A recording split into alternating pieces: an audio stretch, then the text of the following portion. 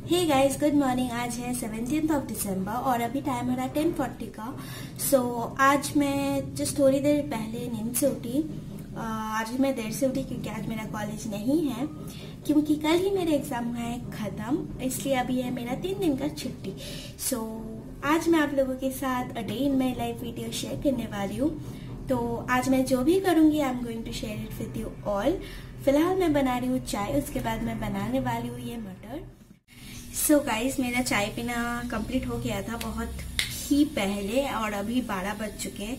I am little late because I was talking so अभी मैं directly बनाऊँगी ये छोले जो मैंने कल भिगो के रखे थे सारे मटर। तो मैं इसे आज सिंपल तरीके से बनाने वाली हूँ। सो so, मैं इसमें एक प्याज डालूँगी। टमाटर मिर्च ग्रीन चिलीज एंड थोड़ा सा अदरक। अगर आप चाहो तो आप इसमें गार्लिक भी ऐड कर सकते हो।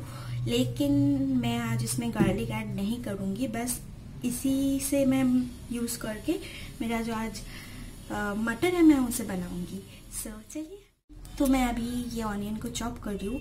तो आज क्या है कि मुझे कहीं बाहर जाने का मन था लेकिन अभी मेरा प्लान चेंज हो चुका है। मुझे अभी कहीं बाहर नहीं जाना है लेकिन आई थिंक शाम को मैं कहीं जा सकती हूँ।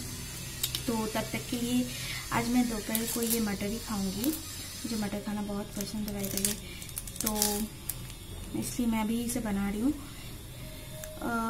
आज मैं आई थिंक फेस स्क्रबिंग भी करूँगी इसको बनाने के बाद। उसके बाद मेरा कुछ कपड़ा मैं उसे भी धोने वाली हूँ। सो so, फ़र्स्ट में खाना बना लेते हैं, नहीं तो काम करने के बाद जब भूख लगती है, दिमाग काम नहीं करता है। सो या first I will cook then I will do my rest of the work मैंने जो मटर है वो कल ही रात को भिगो के रख दिया था। और बाय द वे मैं इसमें जो नॉर्मल मसाले आते हैं ना, मैं उसे यूज़ करने वाली हूँ। जीरा पाउडर धनिया पाउडर लाल मिर्च। पाउडर और नमक, बस यही यूज़ करने वाली हूँ। एज आई हैव टोल्ड कि अगर आपको इसमें देना है गार्लिक तो आप इसमें लहसुन भी दे सकते हो, लेकिन आज मुझे इसमें लहसुन नहीं देना है। तो इसलिए मैं सिर्फ़ आज इसमें अदरक ही दूँगी। तो मैं इसे रफली चॉप करी हूँ टमाटोज को नॉट जस्ट छोटी सी प्रॉब्लम हो गई है कि मैं बात करते करते भूल गई थी कि मुझे ये मटर को उबालना है। तो मैं एकदम मेरे माइंड से स्लिप कर गया था। तो अभी मैं इस मटर को जल्दी से मैं बॉईल होने के लिए रख दूँगी। मैं इसे प्रेशर कुकर में तीन से चार सीटी दूँगी। उसके बाद ये थोड़ा सा जब बॉईल हो जाएगा तो मैं मेरा नेक्स्ट प्रोसेस स्टार्ट करूँगी। सो चलिए मैं इसे जल्दी से बॉईल करने के लिए रख जस्ट छोटी सी प्रॉब्लम हो गई है कि मैं बात करते करते भूल गई थी कि मुझे ये मटर को उबालना है।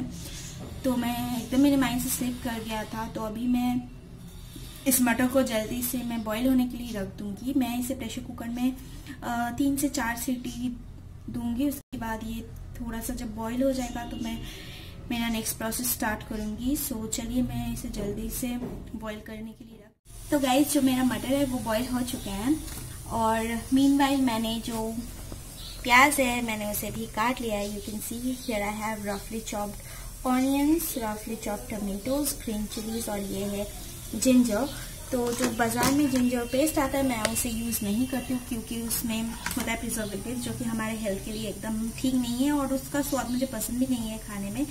स्वाद उसका और भी खराब आता है. So I stay outside my home so I can manage to have mixer grinder with me तो इसलिए वट आई डू कि जब भी मुझे कोई पेस्ट बनाना होता है आइधर जिंजर का या गार्लिक का तो मैं इसे स्ट्रेनर से मैं और इसे कद्दूकस कर लेती हूँ। तो इससे क्या होता है कि ये एक पेस्ट फॉर्म में आ जाता है यू कैन सी एक पेस्ट फॉर्म में आ जाता है। तो इससे क्या होगा कि आपको वो जिंजर गार्लिक ये पूरा आपके मुँह में भी नहीं आएगा और इसका टेस्ट खाने का जो स्वाद आता है वो भी और भी बढ़ जाएगा। तो इट्स ऑलमोस्ट लाइक पेस्ट तो अगर आप रहते हो घर से बाहर तो आप भी इसे एक बार ट्राई करना। आ, तो अभी मैं बनाऊँगी। सो गाइज़ मेरा जो खाना बनाना है वो हो गया कंप्लीट तो मैं अभी फेस को स्क्रब करूँगी. तो मैं उसके बाद आपको दिखाती हूँ कि मैंने कैसे बनाया है. तो फ़र्स्ट में स्क्रब करने से पहले I will apply I will first clean my face तो उसके लिए I will be using this Avon naturals purifying charcoal cleanser तो बेसिकली ये एक फेस वॉश है जो कि है चारकोल का purifying face wash I absolutely love this नहीं तो अगर आपको दूसरा बहुत मार्केट में मिल जाएगा अफोर्डेबल रेंज के अंदर, लेकिन वो उतना ज़्यादा अच्छा नहीं होता है तो इसलिए आई थॉट कि I should give it a try तो मैंने इसे परचेज किया और more than one month I am using it और इसका जो रिज़ल्ट है वो मुझे अच्छा लगता है as comparing to others like I have use Oshea's charcoal face wash लेकिन वो मुझे उतना अच्छा नहीं लगा. तो इसलिए आई हैव परचेज दिस इसका प्राइस है टू फिफ्टी नाइन लेकिन I have got it for one ninety nine तो ये आपको वन नाइन्टी नाइन अराउंड मिल जाएगा। अवॉन का है आप इसे ऑनलाइन से परचेज कर सकते हो नहीं तो जो एवॉन का um, मतलब घर से जो बिज़नेस होता है you can purchase from them also तो मैंने इसे मेरी फ्रेंड से परचेज किया था।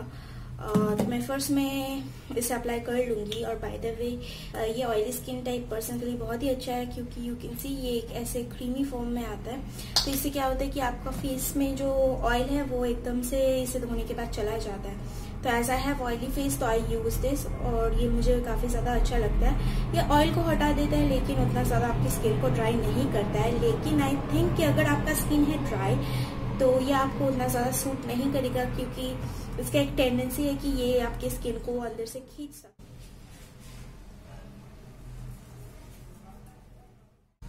सो so, मैंने मेरे फेस को अच्छे से क्लीन कर लिया है with face wash now I will apply this Biotique का tan removal papaya face scrub ये भी बहुत ही ज़्यादा अच्छा है and I absolutely love it और इसमें आपको मिल जाएगा 100 gram of product for one forty rupees उसके ऊपर आपको एक्स्ट्रा डिस्काउंट मिल जाएगा। अगर आप इसे ऑनलाइन से परचेस करते हो तब आपको डिस्काउंट मिलेगा। अगर आप इसे ऑफलाइन से परचेस करते हो, तब भी आपको डिस्काउंट मिल जाएगा। तो इसमें आपको ऐसे ग्रैनुअल मिल जाएँगे। इसका ग्रैनुअल थोड़ा हार्ड है लाइक एप्रिकॉट लोटस का जो एप्रिकॉट आता है, ये वैसे ही है। बहुत अच्छा है आपके स्किन में जो डेड स्किन सेल्स है और जो व्हाइट हेड और ब्लैक हेड है, वो एकदम से रिमूव कर देता है। तो इसलिए ये मुझे बहुत ही ज़्यादा पसंद है।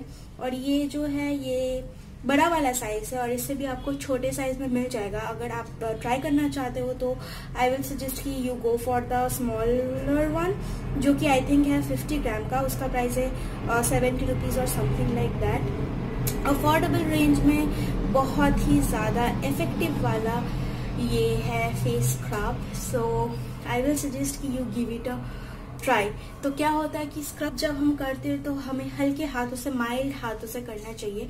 और अगर आपका स्किन है बहुत ही ज़्यादा एक्स्ट्रा सेंसिटिव तो you avoid scrubbing with such hard particles तो आप यूज़ कर सकते हो जो बायोटिक का पपाया का, जो फेस वॉश आता है, उसमें भी आपको सॉफ्ट ग्रैनुअल्स मिल जाएगा। तो you can use that as your scrub तो आई विल सजेस्ट कि अगर आपका स्किन होता है, सुपर सेंसिटिव देन आपको ये स्क्रब ऐसे जो हार्ड मतलब स्क्रब आते particle you should avoid using that नहीं तो उससे आपको स्किन में हो सकता है प्रॉब्लम तो जब हम करेंगे, इसे हल्के हाथ से करेंगे रफली हम इसे एकदम ही नहीं रब करेंगे, नहीं तो हमारे स्किन का जो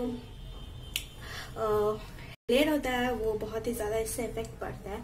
और स्क्रब आई विल सजेस्ट कि you do twice a week maximum thrice not daily तो इससे क्या होगा कि आपकी स्किन में जो डेड स्किन सेल जम जाते हैं या जो व्हाइट हेड आते हैं विंटर के टाइम ब्लैक हेड्स आते हैं, वो एकदम से रिमूव हो जाएगा। You can see here I am removing my white heads तो आपको यहाँ पे अच्छे से सर्कुलर मोशन में आपको अप्लाई करना है। So guys here it is you can see मैंने इसे थोड़ा सा स्पाइसी बनाया है। बहुत ही सारे ग्रीन चिलीज और रेड चिली पाउडर देके क्योंकि मुझे स्पाइसी खाना है बहुत ही पसंद। अगर आप चाहो तो इसमें आप कोरिएंडर का जो फ्रेश लीफ आता है उसे भी आप अच्छे से आ, कट करके इसके ऊपर दे के खा सकते सो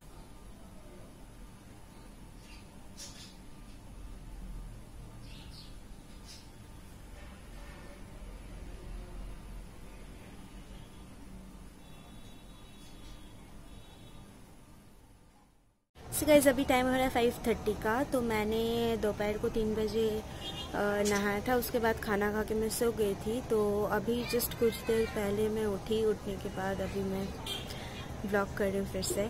सो so, शायद से मैं अभी थोड़ी देर में कहीं जाऊँ। तो अगर जाऊँगी तो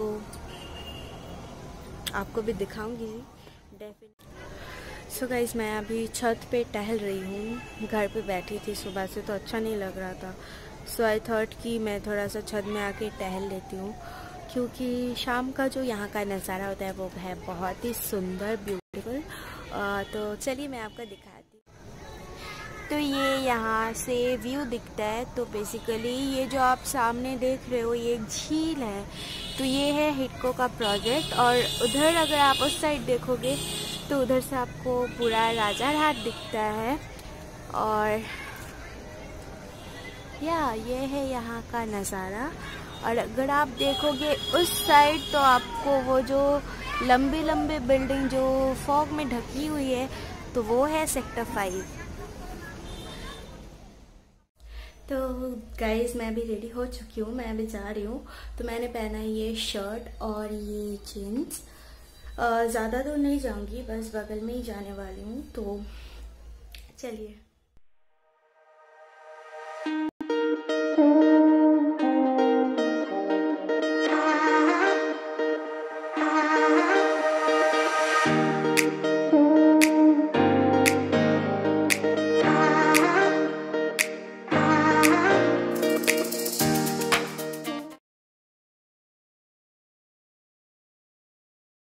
ये जो तड़के का दाल आता है तो मैंने इसे सुबह ही भिगो के रख दिया था। तो मैं अभी इसे प्रेशर कुकर में तीन से चार सीटी देने के लिए रख दूँगी। तो जब तक ये उबलता है, तब तक मैं मेरे प्याज, टमाटर, मिर्च को अच्छे से काट लूँगी। तो आज मैं इसमें दूँगी जिंजर और गार्लिक, टमाटर एंड ग्रीन चिलीज और अनियन। और उसके अलावा मैं यूज़ करने वाली हूँ ये सनराइज का तड़का मसाला। तो अगर आप ये तड़का मसाला यूज़ नहीं करना चाहते हो तो आप डायरेक्टली यूज़ कर सकते हो, जो हमारे घर में अवेलेबल होता है। धनिया पाउडर जीरा पाउडर आप उससे भी बना सकते हो, लेकिन आई थॉट कि मैं इसे आज यूज़ करके देखती हूँ कि कैसा स्वाद आता है। और ये जब हो जाएगा तो मैं ऊपर से ग्रीन कोरिएंडर लिव्स भी ऐड करूँगी उससे स्वाद बहुत ही ज़्यादा अच्छा आता है। और या मैं आज एक तड़का बनाऊँगी। सो चलिए बनाते हैं। सो so ये मेरा बॉइल हो चुका है अभी। और uh, मैंने सारे चीज़ यहाँ पे काट के ऑलरेडी रेडी कर लिए प्याज यहाँ पे है जिंजर पेस्ट यहाँ पे गार्लिक आज मैंने इसे पीस में काटा क्योंकि तभी में मुझे पीस में अच्छा लगता है। यहाँ पे I have chopped green chillies और चॉप टमेटोज़ तो फ़र्स्ट में मैंने कढ़ाई बैठा दिया है। तो फ़र्स्ट में मैं ये एक जो है, मैं इसे अच्छे से इसका भुजिया बना के उठा के रख दूँगी। उसके बाद मैं ये सारे इन्ग्रीडियंट्स को एक एक करके इसमें दे के उसके बाद मैं ये तड़के को इसमें ऐड करूँगी। सो मेरा कढ़ाई गर्म हो चुका है। तो I am using this refined oil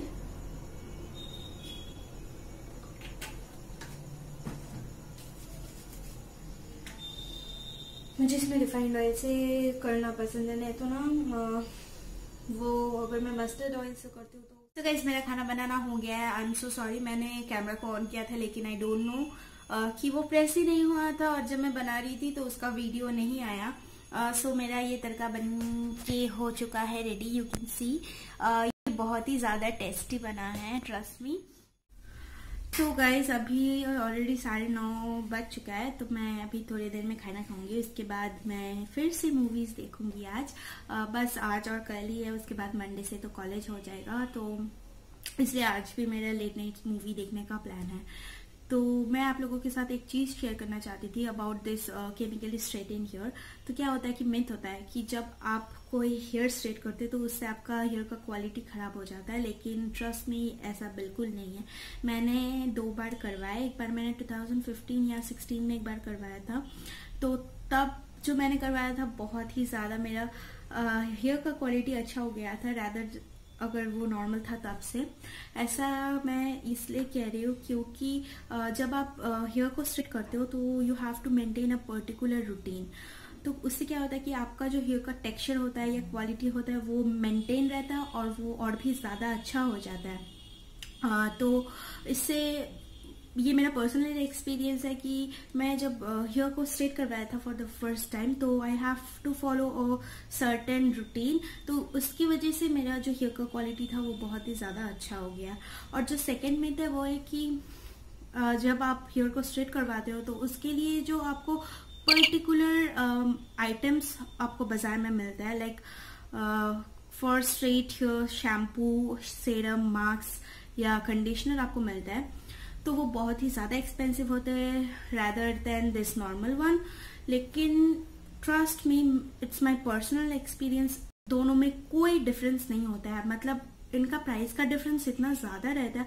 अगर नॉर्मल शैम्पू आप 100 एम का आपको एट्टी रुपीज़ में मिलेगा तो 100 एम आपको स्ट्रेट हेयर के लिए, उसको मेंटेन करने के लिए जो आता है सो so कॉल्ड उसका प्राइस होगा 650 और 700 इतना ज़्यादा इन दोनों में गैप है.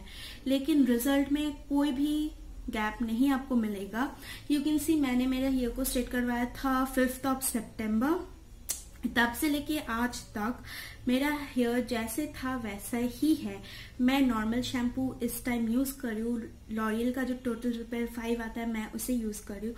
क्योंकि फ़र्स्ट टाइम मैं हेयर को ऑयल नहीं करती थी सिंस 2015 तो उसकी वजह से मेरा हेयर को बहुत ही ज़्यादा थोड़ा रफ हो चुका था, इसलिए मैं टोटल रिपेयर फाइव अभी यूज़ कर रही हूँ तो मेरा हेयर का क्वालिटी अभी पहले से बेटर हुआ है। लेकिन मेरे स्ट्रेटनिंग में उसका कोई भी एडवर्स इफ़ेक्ट नहीं हुआ है। रादर जैसा होना चाहिए वैसा ही है। तो इसलिए मैं ये कह रही हूँ कि अगर आप हेयर स्ट्रेट करते हो तो आप सोच रहे होंगे कि आपको वो एक्सपेंसिव प्रोडक्ट यूज़ करना पड़ेगा in order to maintain your hair लेकिन ऐसा बिल्कुल ही नहीं है। You can use any ordinary shampoo हाँ अच्छा सा शैम्पू आप अच्छे ब्रांड का शैम्पू आप यूज़ करो। उसके साथ उसका ही सेम रेंज का आप कंडीशनर यूज़ करो। तो it will be beneficial for you ऐसा मत करना कि आप एक शैम्पू यूज़ कर रहे हो, दूसरे कंपनी का आप कंडीशनर यूज़ करते हो। इससे आई थिंक हो सकता है कुछ इफ़ेक्ट, लेकिन अगर आप एक ही प्रोडक्ट रेंज का आप यूज़ करते हो तो आई थिंक कि कोई आपको इफ़ेक्ट नहीं मिलेगा। It's my personal experience you can see लेकिन मैं जो आता है आ, सेरम तो मैं सेरम ऑप्टिकेयर का यूज़ करती हूँ फ्रॉम मैट्रिक्स वही है सिर्फ़ फॉर प्रोफेशनल हेयर तो उसका प्राइस है फाइव फोर्टी फाइव वो भी बहुत अफोर्डेबल रेंज में आता है. हंड्रेड एम का प्रोडक्ट है आई थिंक हंड्रेड या हंड्रेड फिफ्टी एम का. बहुत ही ज़्यादा अच्छा है. तो अगर आपको कोई लेना है फॉर योर हेयर तो आप उसे परचेस कर सकते हो। वो है फॉर केमिकली एंड हेयर अगर आपको नॉर्मल का चाहिए तो नॉर्मल आपको मिल जाएगा। उसका प्राइस और भी हंड्रेड रुपीज़ कम होगा। क्वांटिटी आपको सेम मिल जाएगा। ऐसा बिल्कुल भी नहीं है कि केमिकली स्ट्रेट हेयर की मैं जो आप यूज़ करते हो, वो आप नॉर्मल हेयर में यूज़ नहीं कर सकते। So guys that is it for this blog मैं ये ब्लॉग को आज यहीं पे एंड करती हूँ। अगर आपको ये ब्लॉग अच्छा लगता है तो इसे एक लाइक कर देना। सो so, मैं मिलती हूँ आपसे मेरे नेक्स्ट वीडियो में। Till then take care bye bye